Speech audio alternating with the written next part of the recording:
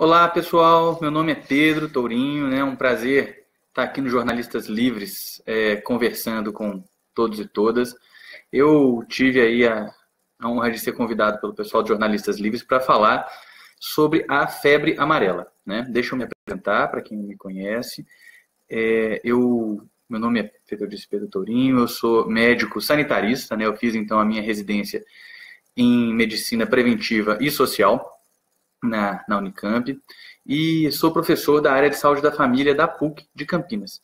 Né? É, eu tenho acompanhado, como diversos outros especialistas na área de saúde pública, a questão da febre amarela no país, com uma situação é, extremamente preocupante, uma situação que surpreendeu a muita gente, porque se trata, de certa forma, do ressurgimento, da, do retorno de uma situação que, em tese, ela estava é, controlada. Né? A febre amarela ela era um problema que já não causava mais, é, digamos, tanto medo, tanto pânico na população.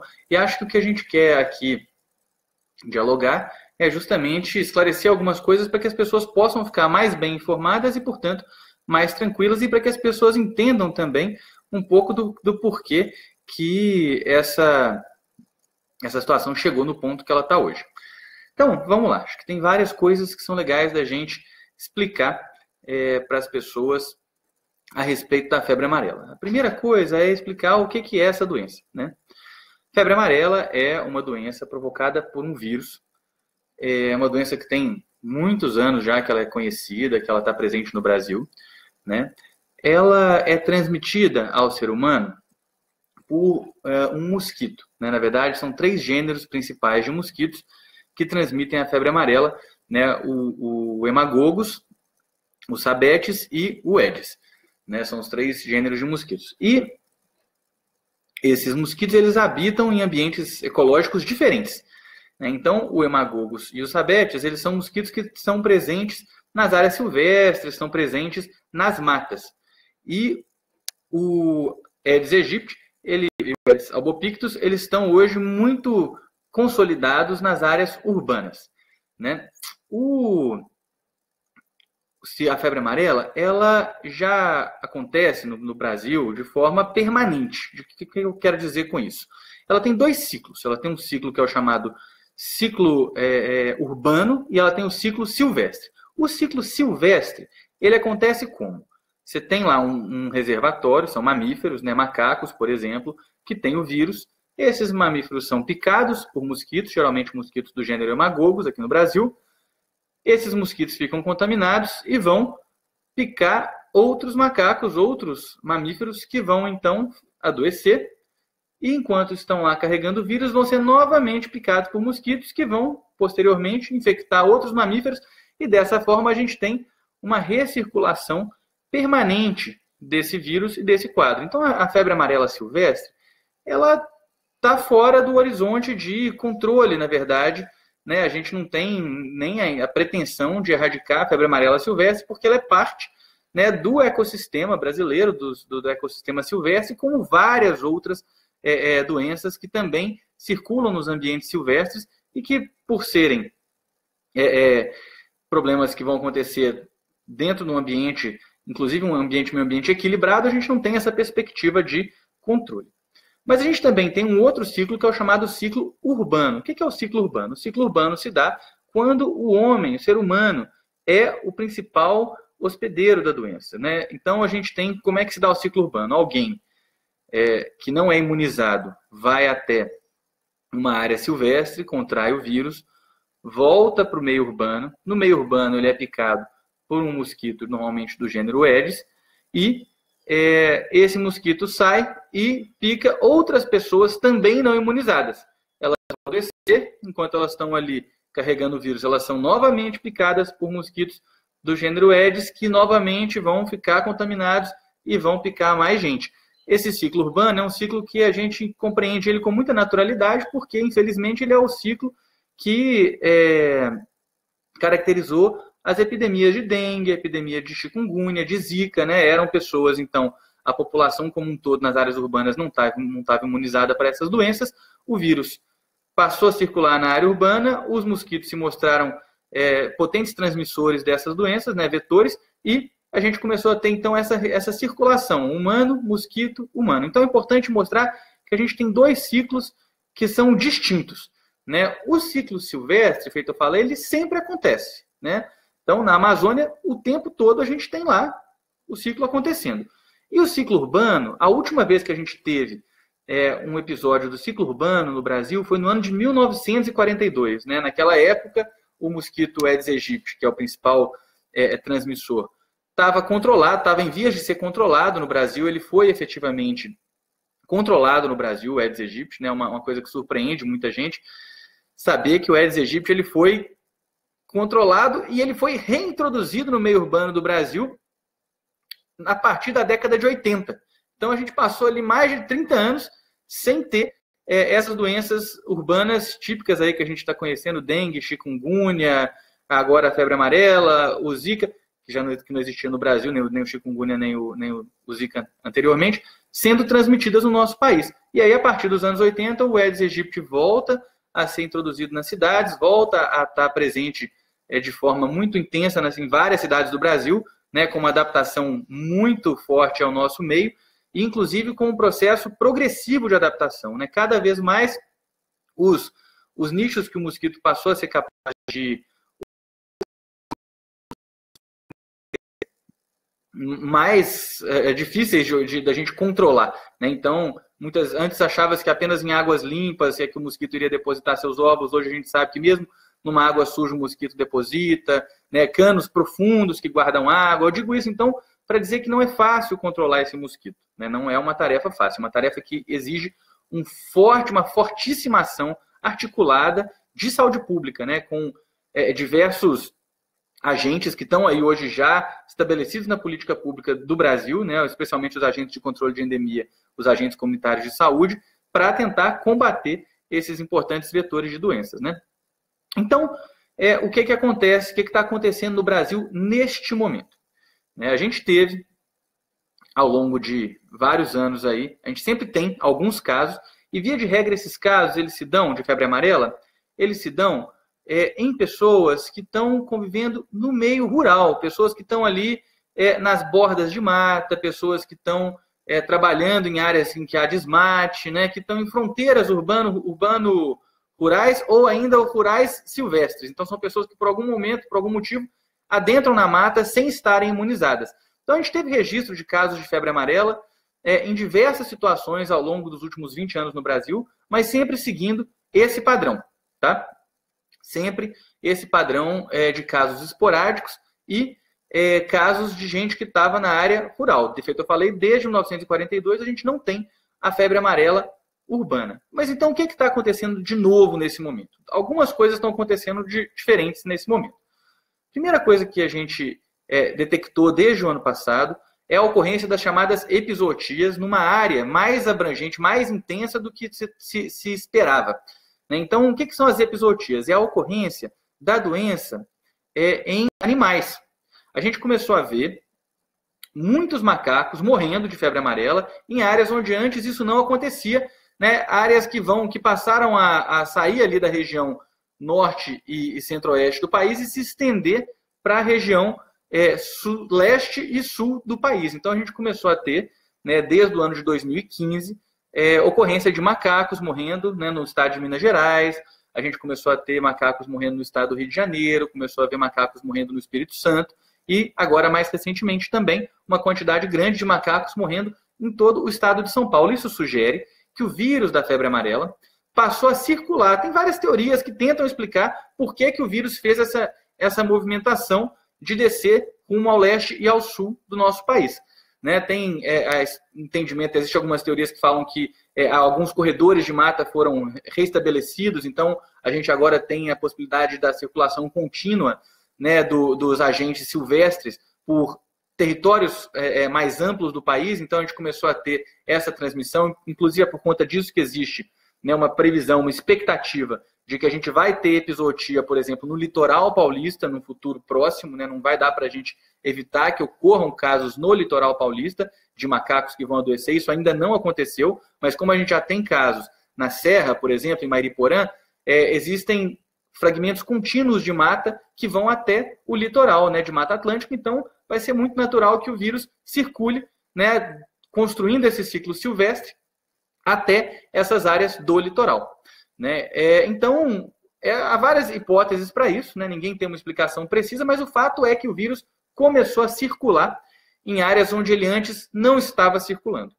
E ao fazer isso, o que, que começou a acontecer? A gente começou a ter pessoas que circulam em áreas silvestres e que não estavam imunizadas e que passaram a contrair o vírus da febre amarela. A gente teve aí, é, ao longo dos últimos dois anos, né, uma quantidade grande de casos de febre amarela, teve um salto importante de casos de febre amarela é, e com muitas mortes, né? Porque é importante, eu vou falar um pouquinho de como é que o, o, a febre amarela atua no nosso corpo.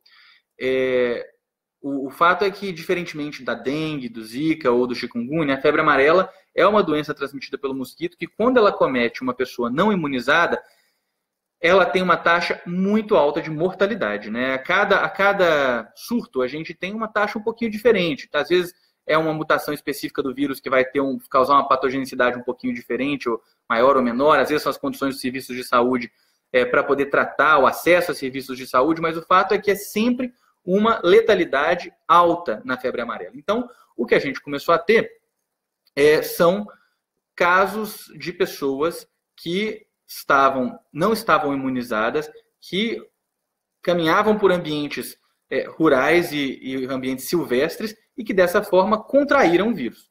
Né? Então a gente teve diversos casos em Minas Gerais, teve casos no Rio de Janeiro, teve casos é, no estado de São Paulo também. Né? É, então, essa é, eu diria, a grande novidade. É que até recentemente, as áreas chamadas áreas é, de vacinação, de recomendação de vacinação, elas chegavam, elas eram o estado de Minas Gerais inteiro, o oeste do estado de São Paulo, todo o centro-oeste do Brasil, o oeste da Bahia, né, todo o oeste dos estados do Paraná, Rio Grande do Sul e Santa Catarina, a região norte inteira, né, e o Nordeste, na verdade, poucas áreas do Nordeste com a orientação da, da recomendação da vacinação para toda a população. Então, a gente tinha grandes segmentos da população que efetivamente não estavam é, imunizados. Tá? Claro, pessoas, eu estou falando aqui das, das, populações das grandes metrópoles, das grandes regiões metropolitanas do estado do Rio de Janeiro e do estado de São Paulo, especialmente. E aí, o que ocorreu é que o vírus, então, com essa nova circulação dele, começou a se aproximar né, dessas áreas que antes não eram áreas, é, áreas ditas áreas de recomendação vacinal. E isso é uma das coisas que causou um grande alarme né, nas autoridades de saúde pública. De repente, o vírus estava perto de grandes bolsões populacionais não imunizados. Né? É, então, o, o, que aconteceu é que a gente começou a ter muitos casos, feito eu falei. Né? É, esses casos, você ter uma ideia, desde julho do ano passado, nós tivemos é, 165 casos em São Paulo, 27 casos no Rio de Janeiro e 81 casos em Minas Gerais. Isso já confirmado, segundo os boletins das secretarias estaduais de saúde é, agora do dia 29 de, de janeiro. Né? Então tem dois dias de, três dias aí essa informação que eu estou falando. É uma quantidade grande de casos e a cada dia a gente está tendo mais casos. Lembrando que a doença ela tem também uma característica sazonal. Né? O que, que isso quer dizer? Ela tem um pico de ocorrência, tem uma época do ano que, pelas condições climáticas, é, a gente tem uma proliferação maior dos mosquitos transmissores da febre amarela, inclusive na área silvestre, né? E as pessoas então estão mais sujeitas a, receberem uma picada que seja uma picada infectante. Né? Então esse, esse, essa sazonalidade ela vai se dar de dezembro a maio. O pico anual é de dezembro a maio. Dezembro começa a subir, janeiro vai subindo um pouco mais. Geralmente fevereiro, março e abril a gente já tem uma, uma incidência bem mais elevada e depois a gente em maio a gente vai encerrando o ciclo. Isso é a mesma realidade também para dengue, para o zika, para o chikungunya febre amarela não foge desta situação. E aí, assim, o que, que, que, que é importante eu, eu colocar também? Né? O que, que é, então, como é que acontece? O que, que acontece com o corpo da pessoa quando ela tem a febre amarela? É, a febre amarela, ela é uma doença que o começo dos sintomas dela são parecidos com qualquer virose que acometa o nosso corpo. Né? A gente vai ter febre, vai ter dor de cabeça, vai ter um mal-estar no corpo, muita dor no corpo, né? uma, um quadro geral de mal-estar. É, dá para dizer que ela é indistinguível né, nesses primeiros momentos, das outras viroses famosas que a gente tem por aí, né, tanto aquelas que a gente que não tem nome, que a gente vai no médico e não recebe um, um nome de volta para elas, são genericamente chamadas de virose, mas também a dengue, o zika, o chikungunya, tem uma apresentação inicial muito parecida. Uma parcela grande dos casos de febre amarela vai parar por aí, né? O corpo vai reagir, vai produzir anticorpos e a infecção vai ser controlada nesse momento, especialmente se a gente tiver um bom, um bom suporte, né? A gente vai melhorando o prognóstico na medida que o suporte terapêutico que for feito for melhor, com hidratação vigorosa, né? Com a, a uma garantia de que a pessoa não vai estar em condições que propiciem é, é, um, um desfecho ruim para esse quadro. Depois, geralmente, de uns dois dias aí de melhora nos quadros de, desse quadro inicial, uma parcela pequena das pessoas vai evoluir com a forma chamada forma tóxica da febre amarela. A forma tóxica da febre amarela já é um quadro bem mais importante, né? um quadro que vai evoluir realmente com hemorragia, né? quadros hemorrágicos importantes, a gente vai ter febre muito alta, né? Os, vai ter a, a pele, os olhos ficam amarelos por causa de lesões hepáticas importantes que a gente vai ter, icterícia, tem sangramento na boca, no nariz, vômitos, né? Então a gente tem muitas vezes insuficiência renal, insuficiência hepática, essas são as situações a forma é a forma é, que a gente na febre amarela que é, pode levar a pessoa né, a muitas vezes ao óbito, ao falecimento. Então essa é a, vamos dizer, o, o, o caminho mais grave que a febre amarela pode tomar. E o tratamento para a febre amarela, é, na verdade, ele é um tratamento que a gente chama de suporte. Não existe tratamento específico, como acontece, por exemplo, com as doenças bacterianas, que a gente tem antibióticos, que são substâncias que você vai administrar e que vão combater diretamente o agente, a gente não tem isso na febre amarela. A gente tem é, a chamada terapia de suporte. Muitas vezes as pessoas vão precisar de terapia intensiva, né, vão, vão precisar de drogas vasoativas para manter a pressão, vão precisar de administração de fluidos para manter a pressão, para não entrar em choque, ou para tratar o choque, né? E a gente às vezes vai, vai ter uma série de outras complicações que acabam é, é, vindo de uma cascata de falências de órgãos e de sistemas né, e acabam culminando, às vezes, por exemplo, com a necessidade de um transplante hepático, como a gente tem visto em diversas situações pelo Brasil afora, pessoas que evoluem com um quadro de uma, de uma hepatopatia grave decorrente da febre amarela, né, com uma insuficiência hepática muito severa, muito, muito grave, com a qual é impossível continuar vivo se não tiver um tratamento mais radical, e as pessoas são submetidas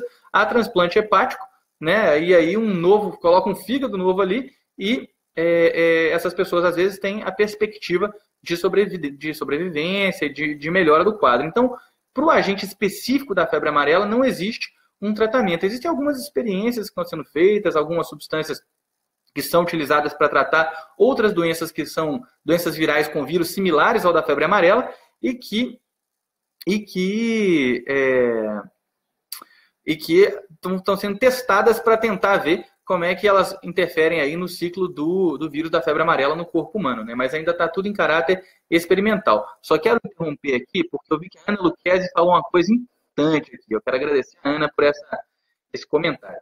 A Ana falou o seguinte: falou que as pessoas têm que parar de matar macacos. Eu estava falando do ciclo e eu esqueci de falar dos macacos. Feito eu falei, febre amarela tem o ciclo silvestre. Esse ciclo ele acomete macacos. Os macacos também adoecem. Quando a gente começa a encontrar macaco morto na, na mata, isso é um sinal de alerta para as autoridades de saúde pública. Sem macacos presentes na mata, para a gente descobrir que o vírus está circulando, nós não temos como saber que o vírus está chegando perto da gente. Então, é, a gente ouviu falar aí de várias situações das pessoas atacando os macacos. Isso é fruto de um profundo desconhecimento, né? Muita, muito equivocado fazer isso, porque os macacos, na verdade, são é, sentinelas para nós. Eles são agentes que nos protegem, né, nos informando precocemente que o vírus está circulando naquela área. O macaco não transmite para o homem, para o ser humano.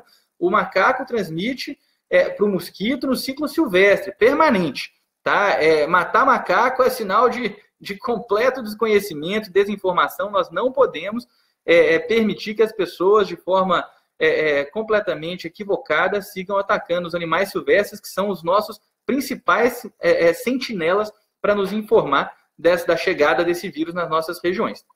Então, voltando aqui para a questão da febre amarela, feito eu, feito eu falei, né, a gente vai ter, então, quando a gente tem um surto de febre amarela que acomete seres humanos, a gente vai ter uma, uma demanda muito forte sobre sistemas de saúde, né? A gente tem uma pressão grande sobre o sistema de saúde e como são casos muito graves, muitas vezes, inclusive, a gente vai sobrecarregar os sistemas de saúde. Então, a febre amarela, a grande preocupação que a gente tem com a possibilidade da reintrodução da febre amarela, por exemplo, nas áreas urbanas, é justamente que a febre amarela, se ela comete populações não imunizadas, ela vai provocar uma mortalidade muito alta e vai sobrecarregar tremendamente os serviços de saúde que não estão preparados para uma doença dessa gravidade, acometendo é, as populações em áreas urbanas. Mas então, o que, que a gente faz para evitar e para se proteger da febre amarela? Felizmente, a gente já tem há muitos anos né, um método extremamente eficaz para o combate à febre amarela urbana, né, o ciclo urbano da febre amarela, que é a vacinação.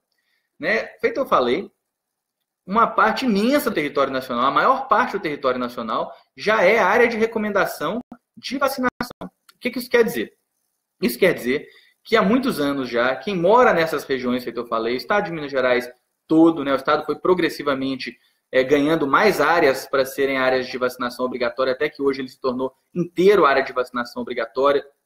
Todo o centro-oeste, o norte do Brasil, oeste dos estados do sul, Paraná, Santa Catarina e, e, e Rio Grande do Sul, né? o estado de São Paulo, até recentemente era só a região oeste, mas agora já é o estado de São Paulo inteiro pedaços do Nordeste, do Rio de Janeiro, todas as crianças, a partir dos nove meses, vão passar a ser imunizadas.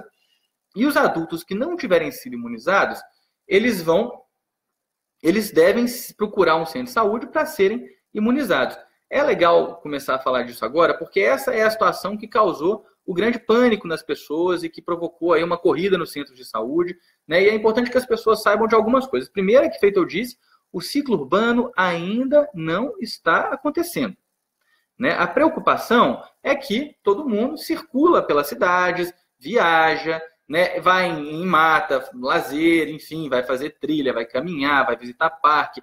E essas pessoas que vão fazer isso, muitas vezes, se não estiverem imunizadas, podem é, entrar em contato com o vírus através da picada de um desses mosquitos, né, que eu falei que estão nas áreas silvestres, são os mosquitos do ciclo silvestre, que é o hemagogos e o sabetes, especialmente o hemagogos, e a partir daí trazerem o vírus para as cidades. Mas isso ainda não aconteceu. Isso ainda não aconteceu. Isso não aconteceu porque, primeiro, né, boa parte das pessoas já estão imunizadas e a gente ainda não começou, não teve uma quantidade suficiente de casos nas áreas urbanas para que esse ciclo começasse a circular naquela cadeia que eu falei, que é ser humano, mosquito, ser humano, mosquito, ser humano. Né? Então, é, nesse sentido, a vacina é uma estratégia extremamente eficaz. O Brasil é o maior produtor do planeta de vacina de febre amarela. Né? A Fiocruz, né, lá a Biomanguinhos, laboratório, um laboratório público financiado com dinheiro do SUS, né?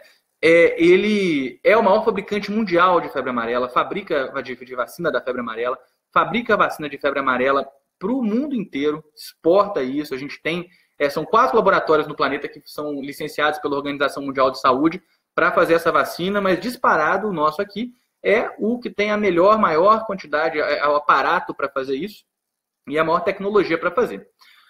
É, o, o, a vacina, então, ela é fabricada aqui e ela é administrada, ela historicamente ela é administrada numa dose que é a chamada dose, a dose plena, a dose cheia, que é a dose de meio ml. Acho que é legal falar disso porque tem a polêmica da dose, da dose fracionada, né? A, as pessoas aqui falaram, a Ana Luquez aqui falou da dose fracionada. Eu vou falar disso. Todo mundo que foi vacinado da febre, contra a febre amarela no Brasil até uma semana atrás, quando a gente começou a administrar a dose fracionada, é, recebeu meio ml da vacina. O, o meio ml da vacina que a gente recebe aqui no Brasil vale dizer, é um meio ml de vacina, de uma vacina de alta qualidade. Tá? Uma vacina que, pra vocês terem uma ideia, ela tem, em média, 27 mil unidades por é, é, para cada 0,1 ml. Sendo que a Organização Mundial de Saúde recomenda que a, a vacina, para ter validade, ela tem que ter é, mil unidades, uma. Então, a dose que a gente recebe aqui no Brasil ela é uma dose muito concentrada, muito potente, de alta eficácia, né, e que tem é, demonstrado uma alta capacidade de imunização.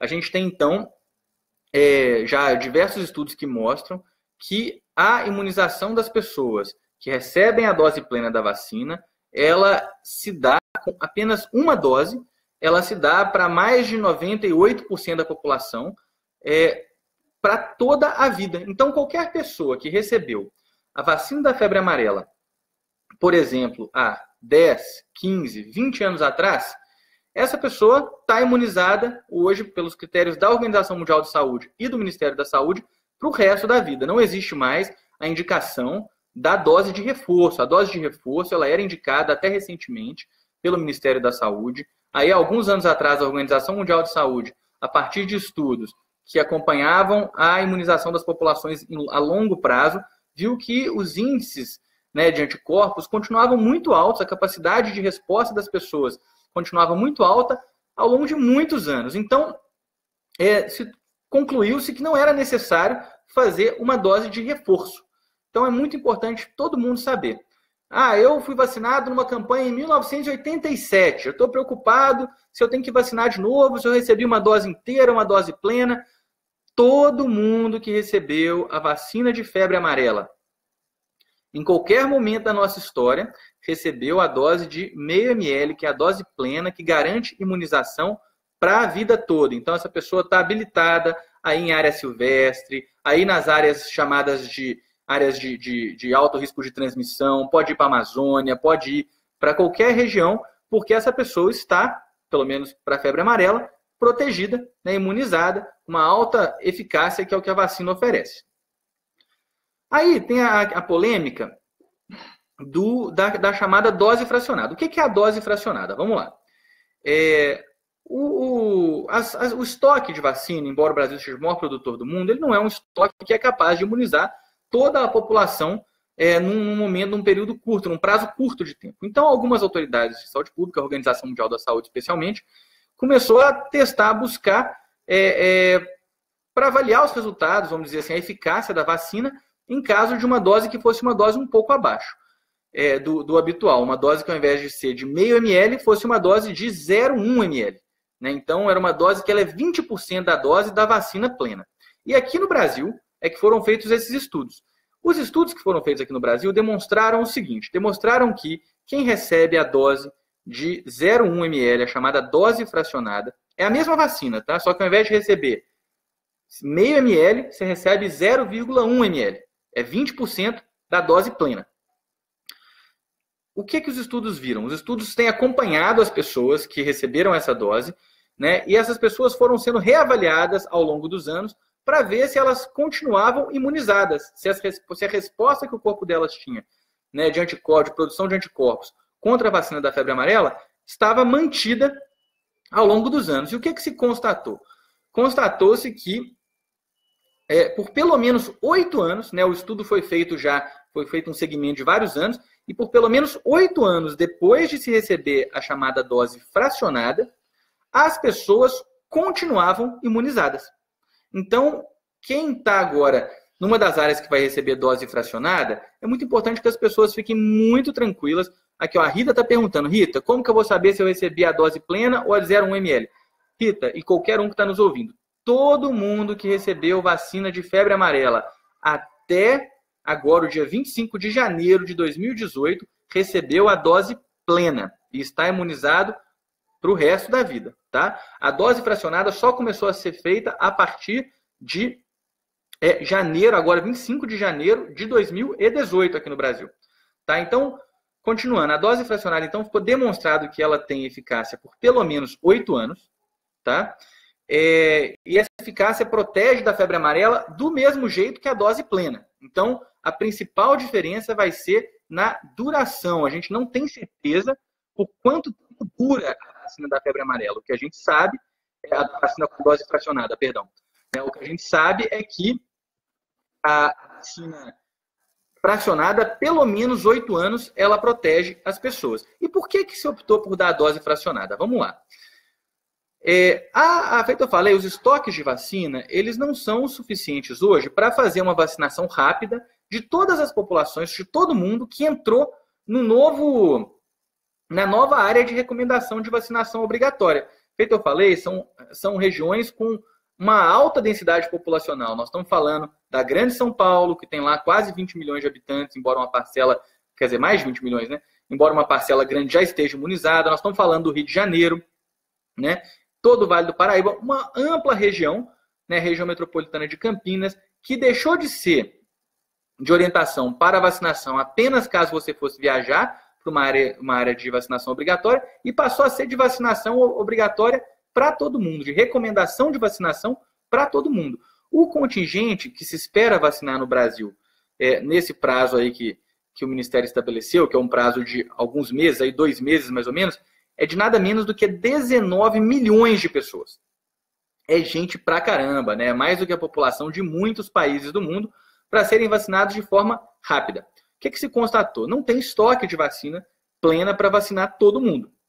Então, com uma dose da vacina fracionada, ela é capaz de imunizar as pessoas, capaz de proteger as pessoas, capaz de evitar que, por conta de uma baixa taxa de imunização, a gente corra o risco de voltar a ter o ciclo urbano acontecendo no Brasil, o Ministério é, passou a, a orientar a administração da dose fracionada. Isso já foi feito em outros países do mundo. Teve uma epidemia no Congo, né, no ano de 2016, eu acho, 16 ou 15, eu não tenho certeza aqui, em que foram utilizadas as doses fracionadas com sucesso, tá? Com sucesso, com bons resultados. Feito eu falei, a diferença que a gente tem é que a gente não sabe qual que é a duração dessa imunização. Mas para propósitos do controle, da garantia, da proteção das nossas áreas urbanas, né, das populações que não estavam imunizadas, contra a possibilidade da volta do ciclo urbano, a dose fracionada é uma medida importante, uma medida válida. Tá?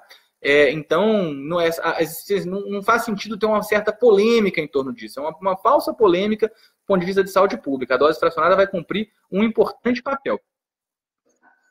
Já que nós estamos falando da vacina, é importante falar também que nem tudo são flores com a vacina. Né? A vacina da febre amarela é uma vacina chamada, um, um tipo de vacina que é chamada Vacina de vírus vivo atenuado. O que, que é isso? É uma vacina que ela tem, na verdade, uma versão do vírus da febre amarela que foi modificada e que ela é, portanto, não é tão nociva para o ser humano, ela não é tão agressiva, né? ela não, não provoca exatamente a mesma doença da febre amarela, mas ela é o vírus da febre amarela modificado. A gente recebe uma dose desse vírus, né? A gente tem, historicamente, muitas vacinas que têm essa característica. Tem vacinas com outras com um outro tipo de desenho, de formulação, de construção, mas essa é uma vacina, um tipo de vacina que é bastante comum, mas é uma vacina que também está é, tá associada a uma taxa razoavelmente alta de efeitos adversos, justamente por ser um vírus vivo que vai reagir no seu corpo e provocar no seu corpo uma resposta imune que vai te proteger é, é, da, do vírus, do vírus para valer, vamos dizer assim, né, do vírus é, inteiro, vírus não atenuado da febre amarela. Então, por conta disso, é, existe uma série de contraindicações é, para o uso dessa vacina. Né? Não é todo mundo que pode tomar essa vacina, é, vamos dizer, de forma despreocupada. Para poder ter segurança na hora de tomar essa vacina, a gente tem que ter um sistema imunológico plenamente funcionante, né? E tem que ter aí algumas características que eu vou enumerar aqui, sem as quais a, a, o risco de efeitos adversos mais graves passa a ser um pouco mais elevado. Quais são esses, esses riscos. Né? E quais são esses efeitos adversos? A gente tem dois efeitos adversos que são os chamados efeitos adversos graves da vacina de febre amarela. Né? A gente tem de 10 a 30% de todo mundo que tomar a vacina vai ter uma reação leve. O que é a reação leve? É o sinal de uma virose. Uma febrinha, uma dor de cabeça, uma dor no corpo, um mal-estar. Né? Não é uma, uma taxa baixa de efeito adverso. De 10 a 30% das pessoas vai ter algum tipo de efeito adverso leve. Né? Então, esse efeito vai durar aí de, de dois a três, quatro dias, é o esperado, mais ou menos. Né? E depois disso, a pessoa vai melhorar, a vida normal, segue imune e a coisa, a vida continua. No entanto, é, um, um percentual bem menor das pessoas vai ter os dois tipos de reações que são as reações graves. Uma é a doença neurológica associada à vacina. Nessa doença neurológica, é principalmente um, um, quadro de encefalite, que é um acometimento do, do cérebro, né, às vezes da medula, pode cursar de diversas formas, com, é, vamos dizer, perda de força muscular, convulsões, né, com processos bastante graves, né? E isso vai acontecer para uma a cada mais ou menos 150 mil pessoas que tomarem a vacina. O outro tipo de, de efeito adverso, esse um pouco mais grave, é a doença viscerotrópica associada à doença, à, à vacina. O que é a doença viscerotrópica associada à, à vacina? é uma, um quadro muito parecido com a própria febre amarela, que mais ou menos uma para cada 400 mil pessoas que tomar a vacina vai ter. Então, isso já é sabido, é conhecido. Né? E a gente, é por isso que a gente não recomendava vacina para todo mundo no Brasil antes. Porque, por exemplo, se você mora numa região, quem mora hoje, por exemplo, em Recife, para dar um exemplo, Recife está fora da área de recomendação vacinal, porque lá não tem caso de é, episotia, não tem macaco morrendo perto de Recife, não tem circulação do vírus, para dar um exemplo, perto de Recife. Então, por que, que a gente vai submeter as pessoas ao risco de tomar a vacina e, mesmo que sendo muito raro, uma para cada 400 mil, a gente ter alguma pessoa que vai adoecer dessa forma? A gente opta por não fazer a vacinação para essas populações, porque o risco-benefício não compensa. No entanto, quando a gente tem a circulação do vírus, feito eu falei aqui, um vírus com alta letalidade, um vírus perigoso, circulando perto de áreas onde uma parte grande da população não está imunizada, aí a relação de risco-benefício já começa a ficar um pouco mais é, é, equilibrada em favor da vacina, né? E a gente começa então a recomendar a vacinação de populações mais amplas. Esses são os casos que a gente viu descritos aí. Já tem três casos né, de óbitos no estado de São Paulo, até onde eu sei, é, de pessoas que usaram a vacina, e é, alguns outros casos que estão em investigação. Mas aí tem algumas coisas importantes para as pessoas saberem. Quem são os grupos que estão mais sujeitos a ter complicações caso tomem as vacinas? População com mais de 60 anos, população com menos de 9 meses de idade. Então, bebês com menos de 9 meses e pessoas com mais de 60 anos não devem tomar a vacina, a não ser que exista uma recomendação médica muito explícita, muito estrita, muito bem recomendada, tá? É, da mesma forma, mulheres grávidas, é, quem, quem usa corticoide, né, pessoas que têm doenças hematológicas, todas essas pessoas só vão fazer uso da vacina se, é, um, após uma avaliação médica, for avaliado que o custo-benefício para essas pessoas compensa. Por quê? Porque essas pessoas para essas pessoas, como o sistema imunológico dela já está um pouco mais enfraquecido, a chance de evoluir com uma, uma complicação mais grave passa a ser maior, tá? É... E quem mais que não deve tomar a vacina, então? É justamente quem tem, de alguma forma, uma situação que está, vamos dizer, com o sistema imunológico mais fragilizado. Bebês com menos de seis meses não devem tomar vacina sob hipótese alguma. Nesses casos, né, a taxa de complicação, por exemplo, de doença viscerotrópica associada à doença, sai de ser de 1 para cada 400 mil para até 500 para cada 400 mil. É muito alto, não compensa, não vale a pena. Né? As pessoas que têm, que convivem com o vírus HIV e que estejam com uma taxa de célula CD4 menor do que 350, pessoas que estejam fazendo radioterapia ou quimioterapia, né? pessoas com câncer que estão fazendo esses tratamentos, pessoas que tomem medicamentos imunossupressores, são medicamentos que rebaixam o sistema imunológico, geralmente para controlar uma chamada doença autoimune, pessoas que usem corticoides em doses elevadas. Essas pessoas, infelizmente, não, não devem ser vacinadas, porque se elas forem vacinadas, elas vão ter uma taxa de complicação mais alta do que a população geral. Então, quem são as pessoas que devem ser vacinadas? São as pessoas entre 9 meses de vida e 60 anos de vida que estejam em áreas de vacinação, é, de recomendação de vacinação, ou que vão viajar para áreas onde a vacina é recomendada.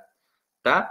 As pessoas que têm alergia a ovo também, esqueci de falar da alergia a ovo, as mulheres que estão aumentando bebês com menos de seis meses, essas todas, esses grupos todos não devem então vacinar, né? Pessoas que fazem radioquimioterapia, quem convive com HIV com uma taxa de CD4 menor do que 350 e quem está aí com alguma situação que provoque imunossupressão, porque aí a gente vai realmente ter um risco de complicação da, é, decorrente da vacina muito mais alta, né? Tem, eu estou vendo aqui uma pessoa que, a, a Rita, contando que ela tem 65 anos e foi vacinada compulsoriamente numa viagem para Brasília, que a polícia parou o ônibus, tinha uma unidade móvel que vacinou todo mundo. Rita, essa é uma situação um pouco um pouco atípica, né? Você fazer uma vacinação compulsória para as pessoas, até porque a vacina não funciona imediatamente. Tá? É importante também nossas pessoas saberem que a, a, a proteção que a vacina vai oferecer para a gente, ela demora pelo menos 10 dias para acontecer. Então, se você vai viajar, por exemplo, para uma área que tem uma, uma necessidade de, de uma, uma, orientação, uma recomendação de vacinação, de imunização, é, tem que vacinar 10 dias antes da, da viagem. Não adianta viajar é, vacinar no dia anterior da viagem, até porque para vários países as autoridades não vão nem te permitir embarcar no avião se você não tiver pelo menos 10 dias de vacina. Tá? É claro que isso pode acontecer, eu estou vendo aqui que a Rita está contando que isso foi em 2002. Certamente uma situação muito atípica, muito estranha, mas que acho que não está mais acontecendo no Brasil. Né? Ah, Ana está aqui falando que está em São Paulo, está tentando vacinar e, e, e não está conseguindo vacinar. É, acho que também é importante a gente falar um pouquinho agora sobre a situação de, de saúde pública, dos serviços de saúde pública. É aí que eu acho que a gente começa, então, a ter algumas críticas importantes, né? Essa situação da febre amarela, ela está causando esse, esse, esse, pavor e esses episódios aí, é, esse, essa, esse número alto de casos que aconteceu no estado de Minas Gerais, no estado do Rio de Janeiro, no estado de São Paulo, com muitas mortes. Eu tenho aqui, eu registrei, ó, o número de mortes em Minas Gerais já são 30, em São Paulo 43, no Rio de Janeiro 7, no Distrito Federal um caso já confirmado de morte por febre amarela. Em grande parte, a gente entende que houve um, um, um equívoco das autoridades é, no manejo na, na, da, da questão da febre amarela. Por quê? Porque houve uma concentração da vacinação nas grandes áreas urbanas nos grandes bolsões populacionais.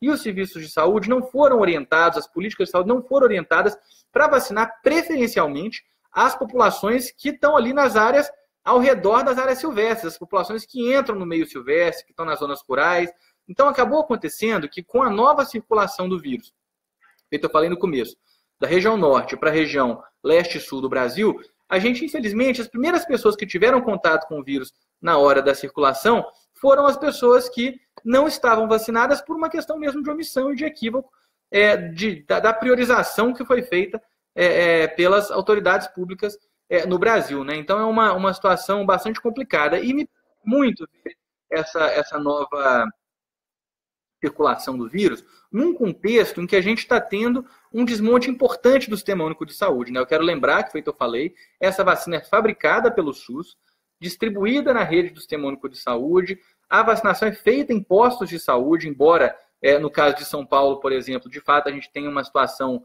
dramática, porque o, estado, o município de São Paulo é, houve uma procura muito, muito grande de, de pessoas pela vacina, por, em grande parte por desinformação, né, um pânico, esse pânico não era necessário, porque o ciclo urbano não está acontecendo agora, feito eu falei, as pessoas não estão é, é, é, expostas imediatamente ao vírus nesse momento em São Paulo, né? E as campanhas de informação e tudo mais são muito, são muito frágeis. É, é tanto a, as prefeituras, a prefeitura de São Paulo, o governo federal informa mal a população a respeito disso. Né? Não por acaso a gente está aqui fazendo uma transmissão dessa informando muita gente. É importante colocar que é, né, nós aqui estamos falando a partir do nosso conhecimento e as autoridades devem estar, tá, devem informar a população também, mas isso tem acontecido de forma muito precária.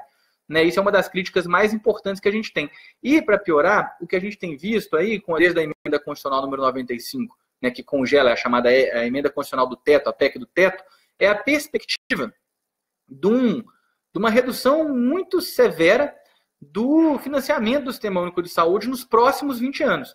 E aí a gente fica se perguntando, né? Uma doença grave como a febre amarela e outras doenças é, é graves que a gente tem aí circulando pelo país, que dependem integralmente da saúde pública para serem controladas, para serem é, devidamente estudadas, para que a gente possa ser ter um, um arcabouço de políticas públicas que venha a garantir que essas doenças não vão acometer e matar muita gente, e ao mesmo tempo, ao invés de ter um fortalecimento dessas políticas, a gente tem um esvaziamento da política pública de saúde. O Ministério da Saúde, nesse ano de 2017, já recebeu muito menos recurso do que em anos anteriores, né, do ponto de vista percentual. Então, é uma, uma perspectiva que a gente tem com é, é esse ajuste aí, essa, essa emenda do teto horrorosa, né, a PEC da morte, como muitos chamaram, para o Sistema Único de Saúde, da gente ver situações como essas acontecendo de novo no futuro e a capacidade de reação do sistema muito reduzida, muito reduzida, tá? É, então, eu vou aqui responder mais algumas últimas perguntas, se as pessoas tiverem alguma dúvida. É, deixa eu ver aqui. Ah, então, aqui, qual a probabilidade de se tornar um evento urbano? Né? A me perguntando. A probabilidade de, de, de se tornar um, um de criar-se um ciclo urbano é muito pequena, tá, Ivania? Felizmente a gente tem é, na maior parte das grandes metrópoles é, do Brasil, já um percentual alto da população imunizada, onde vai ter que fazer o maior, a maior quantidade de, de, pessoas vão ter que ser imunizadas, de novas pessoas vão ter que ser imunizadas, é no Rio de Janeiro, no estado do Rio de Janeiro, onde tem uma meta de aproximadamente 10 milhões de pessoas a serem imunizadas. No estado de São Paulo, né, na Grande São Paulo, são mais ou menos 3 milhões de pessoas que precisam ser imunizadas, 3 milhões e meio de pessoas aproximadamente. Né, na Bahia também, aí uma quantidade razoável de pessoas. São os três estados que vão fazer as doses fracionadas da, da vacina, Bahia, é, Rio de Janeiro e o estado de São Paulo. Né? Nos demais estados do Brasil, a dose continua sendo a dose plena, e mesmo em diversas regiões do estado de São Paulo, como por exemplo na região de Campinas, em Campinas, a dose que está sendo feita é a dose plena, né? a dose inteira. Então, é, com essa ação rápida de imunização maciça da população, a chance da urbanização da febre amarela é muito pequena, né? O mosquito que pode transmitir a febre amarela está presente, está chegando agora a fase em que ele fica na maior em maior quantidade no meio ambiente, né? os meses que eu falei da sazonalidade, e é por isso que a ação de vacinação tem que ser uma ação rápida, uma ação rápida, uma ação efetiva, né? Agora, sem desespero, sem é, é, as pessoas terem que voar, ficar nas filas dois, três dias, né? As pessoas podem se vacinarem com calma ao longo dos próximos dias, mas todo mundo tem que ir procurando os equipamentos de saúde, sim, para poder ir se vacinando. Quem está em área de recomendação de vacinação deve ser vacinado, mas pode fazer isso com uma certa calma, né, sem, sem esse desespero, porque a urbanização ainda não está não tá na ordem do dia. Né? Claro que se as autoridades, por algum momento, é, descansarem, fecharem os olhos, isso pode acontecer. Né? O, o vetor está aí e o vírus está logo ali do lado. Então é só um pulo. Mas, felizmente, a gente já tem também percentuais altos da população que estão imunizadas. Cidades como Belo Horizonte, Campinas, aqui onde eu moro, Hoje a gente já tem aí na cidade, uma cidade que tem 1 milhão e 200 mil habitantes, nós já temos 920 mil pessoas vacinadas, e isso tudo vai promovendo uma, uma certa barreira contra a disseminação do vírus e a constituição daquele ciclo, né, é, é, que é o ciclo urbano, que é o ciclo ser humano, mosquito, ser humano, mosquito, ser humano, mosquito. Enfim, é, é importante falar que para quem não está vacinado, para quem, quem não pôde ser vacinado por algum motivo desses que eu falei, né, a medida de proteção que existe é o uso de repelente, o uso de mangas compridas, né, a, a, o controle do, dos, dos, vetores, no caso, quem está na área urbana, é sempre importante fazer, porque essa não é a única doença grave que é transmitida pelos, pelo mosquito Aedes, né, e evitar, evidentemente, a circulação em áreas, é, em áreas de, de alto risco de transmissão. Né? Então, por exemplo, eu sei que em Belo Horizonte, por exemplo, onde a gente teve diversos casos, é, os parques lá da cidade, vários parques estão fechados, e é bom que eles permaneçam fechados, porque aí diminui a chance de alguém não imunizado inadvertidamente acabar é, circulando no Parque das Mangabeiras, eu vi que é um parque importante lá da cidade, está fechado, e, e aí a pessoa acabar contraindo o vírus e aí ter uma, uma tragédia. Né? Então, é, são essas as medidas: é repelente, mangas compridas, evitar circular em áreas de alta, alto risco de transmissão da doença. É isso, né? É importante. Acho que eu espero que a gente possa ter, com isso aqui, dado alguns esclarecimentos pessoas, né, é, o combate ao mosquito se dá permanentemente na área urbana, o ciclo urbano não está acontecendo, mas tem várias outras doenças cujos, cujo, para as quais o ciclo urbano está se, se dando, né? A gente teve aí nos últimos 4, 5 anos diversas epidemias de dengue, com muitas mortes, tivemos o Zika, tem o chikungunya em diversas regiões do, do, do país, e isso é muito grave, e é o mesmo mosquito que vai transmitir a dengue, o Zika, o chikungunya e também a febre amarela na área urbana. Então a gente tem que combater, né, e isso é muito importante, e pressionar as autoridades públicas, tanto no sentido da defesa do Sistema Único de Saúde, né, não permitir que esse patrimônio do povo brasileiro seja desmontado, né, seja destruído e, e, e que a gente não consiga efetivamente implementar as políticas de proteção à saúde que são tão importantes, e também pressionar os gestores locais para garantir que eles deem respostas adequadas. Em São Paulo, é inadmissível ver né, a lentidão da gestão Dória em responder à questão da, da, da pressão que está acontecendo. É muito importante que a gestão, tanto do Estado de São Paulo, Estado de, de Minas Gerais, do Estado do Rio de Janeiro, todas essas, essas regiões é, se, tenham, tenham políticas efetivas, rápidas, de enfrentamento a isso, que incluem, no caso de São Paulo e Rio, a fracionamento de dose, a ampliação do turno de funcionamento dos serviços de saúde, a contratação emergencial de mais profissionais de saúde, porque a gente também não pode esquecer que os profissionais de saúde, muitas vezes, já estão trabalhando numa sobrecarga enorme, vão se desgastar ainda mais, se estressar e ficarem mais sujeitos a erros. Né? Então, todas essas questões são já questões políticas que a gente não pode se omitir é, de, de fazer para a gente garantir que, que a febre amarela vai é, efetivamente ficar restrita ao ciclo silvestre e que a gente não vai perder mais vidas humanas por uma doença que estava controlada no Brasil aí é, já desde 1942 e a gente não pode permitir que ela, que ela retorne, tá bom? É isso aí então, pessoal. Muito obrigado aí pelo papo. Achei muito bom poder conversar com tanta gente aqui no Jornalistas Livres que faz uma luta tão importante para todos nós aí que estamos no Fora Temer, que estamos lutando por direitos, lutando por um Brasil mais justo. Então, estamos à disposição. Um grande abraço para todo mundo.